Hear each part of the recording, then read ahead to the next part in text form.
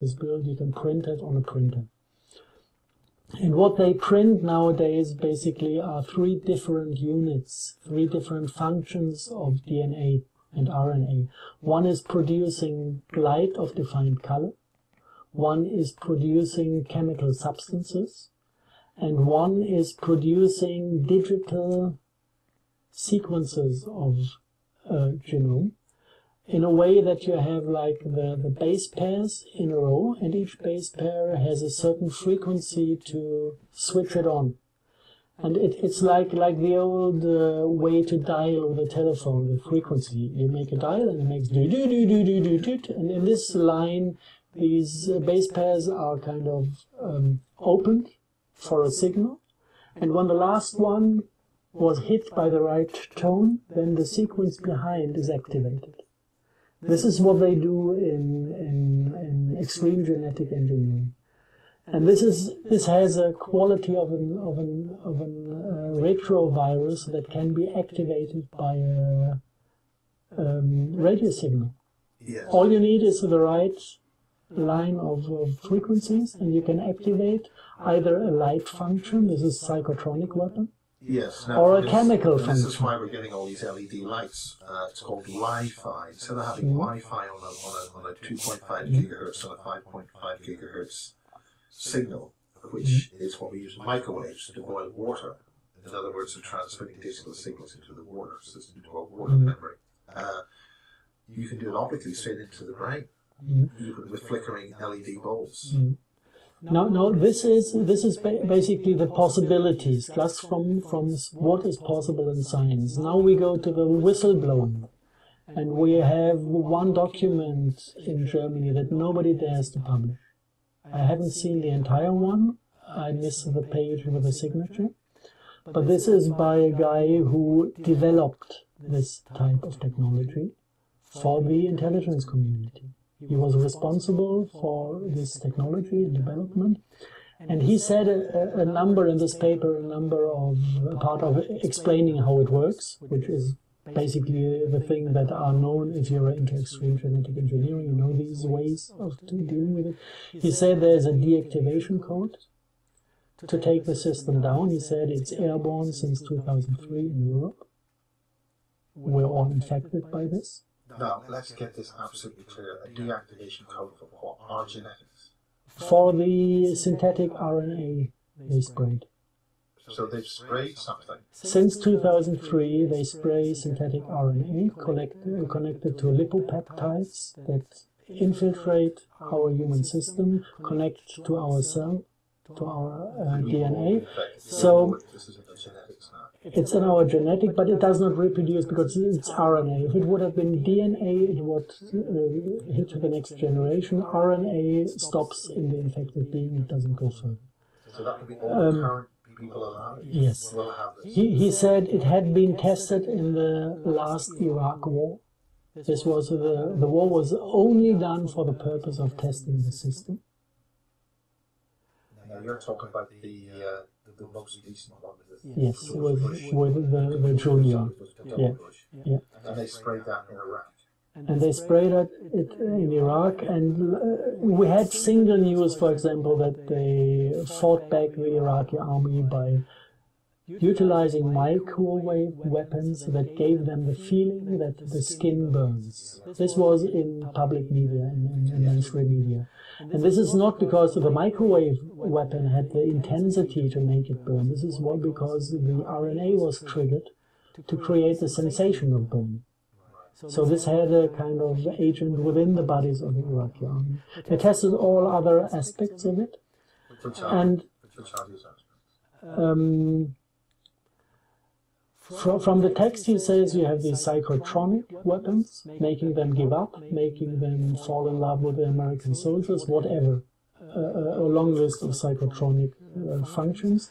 And you can make people sick, you can make them die of cancer after one year, you can make them die in six minutes, and you can make them die in six seconds if you want to. This is what he listed. And um, but the most uh, most interesting thing from, from this paper is that he said that they spent 10 billion US and one, no, half a year, I think it was half a year, to optimize the cluster topology. And this is something, it, it sounds just like science fiction if you say it like this, but if you really think about it, if it is only about infecting humans with a virus like synthetic RNA, you could give a damn about cluster topology. Cluster topology starts to, to become an interesting topic if this RNA cluster is supposed to carry a soul. Only then a soul or an artificial intelligence or whatever, an RNA. Um, so so th this is kind of the, the first time that I had an, an input, an idea of how do they turn people into biorobots. You have the RNA cluster within the air, sprayed in the air with a defined distance from RNA to RNA. And within the human body, the same RNA cluster is prolonged within the cells. And now, whatever is carried by these clusters, the artificial intelligence or a program or a soul, whatever this is, can travel from the dust into the human being. This is smart dust. And this is what they call smart dust. And now, uh, this is all kind of grad theory.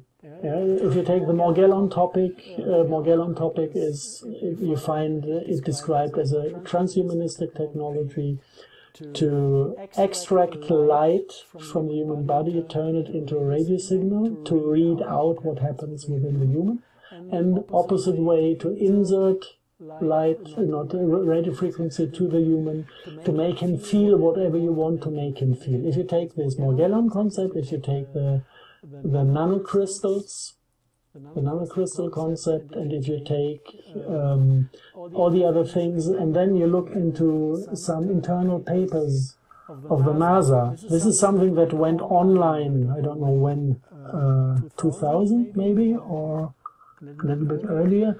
It, it wasn't meant to be published. It was an internal lecture um, in, the, in the NASA facilities in the United States. I like Some- the way you say NASA.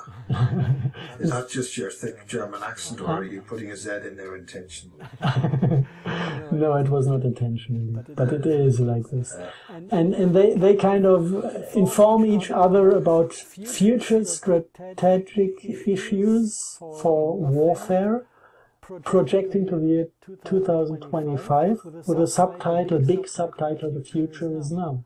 And if you look through it, you find the concept of some sensor swarm, smart dust. You find nanotext, which is identical with the Morgellon function. And you find co-opted insects. So somewhere in the American in the American intelligence community, which seems to be uh, black magic inspired, Oh, well, there are certain individuals who say the US Army has totally been satanic since like the 1930s. uh, sometimes I would say it looks like definitely the uh, intelligence, the, the army-based intelligence community, especially whatever was founded by the uh, Tavistock Institute, which is CIA and Office of Naval Intelligence. Those are definitely black magic institutions. From their origin, going back to the Tavistock, I mean, this is Kara's partner in mine, as an interview, I guess, with her online. Um, but uh, NASA knows all the components and it is interlocked in the United States. If you go to Silicon Valley, you have three big buildings. One is Singularity University, with the founder Ray Kurzweil, who is dreaming about, in their interviews out there where Kurzweil is dreaming about sending nanobots to other planets to harvest energy and matter to multiply the over in overall intelligence of the human machine civilization. Originally, his words. And then he asked himself if, if there's a God that exists, and he says, not yet. This is Ray Kurzweil. Now, next building from Singularity University, Transhumanistic uh, headquarters is Google headquarters, uh, where he now is uh, head developer. Same Ray Kurzweil. And on the other side of the of the of the university is NASA headquarters, the one who is certifying the planes to spray, according to Kara's novel. So all these members of this Black Brotherhood even sit in the same street as neighbors. And uh, I, I think it's it's kind of about Obviously feel fairly safe, looks like but, that's because people don't understand the consequences, or are they hive programmed already? some people do understand the consequences. The Russians did understand the consequences of spraying the military compounds, which would have meant losing the harvest and falling under Monsanto, and they decided to stop spraying. And the NSA realized, I guess, that the CIA is a black magic unit. And the NSA, at least parts of it, is still into uh, American interests and the American. Um, I actually, human interests. yes, whatever. So uh, the answer on, or, or no, not the answer. Um, maybe in a reaction to realizing that whatever is happening there with uh, following demonic or archon interests, um, the NSA downed Evergreen International. They downed the CIA spraying airline. And the, and the kind of When little. you say downed it, do they shut it down? Yes. NSA has one option this is cutting money flow.